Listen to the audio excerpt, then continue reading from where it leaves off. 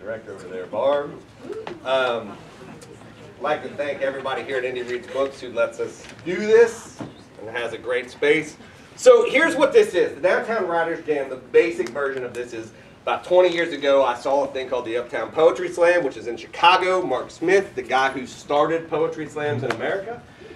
I went and saw a show. He made me a judge, and I was like, "This is the greatest shit I've ever seen in my whole life." There was about 150 people getting drunk, and going crazy for three hours while poets were doing their thing.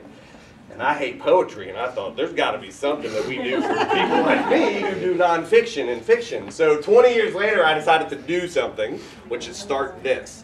So the Downtown Writers Jam is really the fiction, nonfiction, playwright version of that first poetry slam that I saw 20 years ago. As such, there are going to be some rules that we go over tonight. So we have five authors. They're going to have 10 minutes, not total, each, to tell a story from a finished piece of work that they have. And most of them, I don't think, knew that they were going to be in the round. Some of them did. So they will start. Sarah knew. They will start. They will start walking around, but there will be some that just stop and look and sort of forget you, but they love you. Don't. Uh, um, they're not going to be reading. They're going to be telling the story. They don't get to use notes because it's not their thing.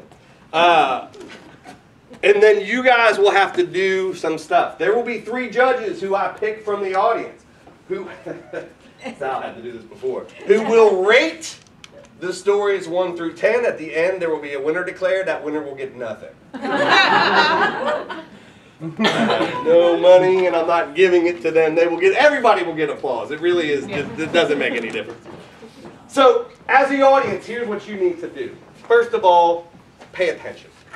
You've come down, I'm assuming that's not going to be a big one.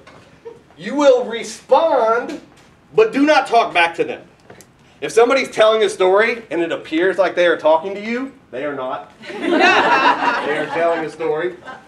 Don't respond. There will be three ways in which you can interact. We're going to do a little thing right now. So, somebody's telling a story and you like what you're hearing, you enjoy it. I hear that. Everybody just get get to it. If you love it,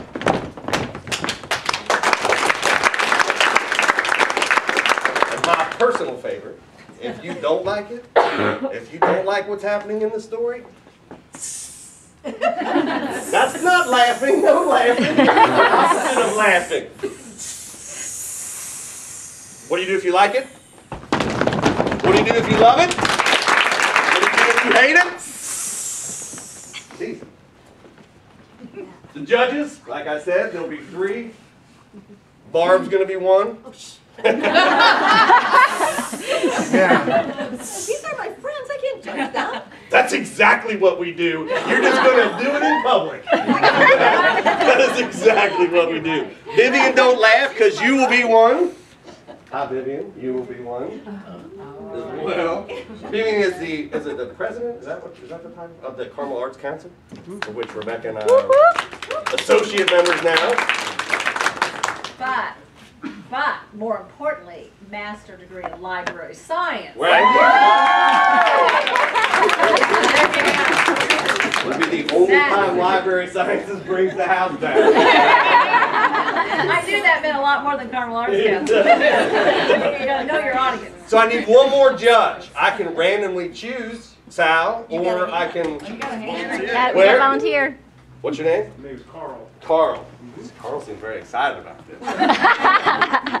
so at the end, you will rank the stories one through ten, and I will call on you, and you will give us, and we will add those up. Uh, sponsors, like I said, Indy Reads Books, who's great. We love them that they allow us. Vouch Books up in the front. So make sure you stop by. You can buy one of their books up there. Indiana Writer Center, which provides us a lot of support and um, helps us promote this and all of these kinds of things. And tonight, after this, like I said, we have our second part of the fundraiser. It's a one-room pub crawl. Uh, $15, two drink tickets. We have Outliers Brewing Company, Two Deep, and New, uh, what is it, New Day Craft? New Day, that. I'm an alcoholic. I don't drink anymore. So I don't give a shit. But, um, I drank all the beer I was allowed to in my 20s.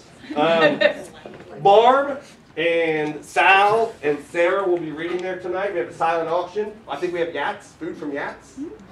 It's all the money that we have, that my wife was just presenting there. Um, Very good. All the money that we raise is going to Indy Reads. So that's what's happening tonight. What do you do if you like it?